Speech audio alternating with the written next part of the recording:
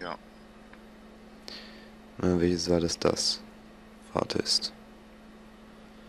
Okay. Hm. Machen wir jetzt mal das hier. Nein, nein, nein. Hier.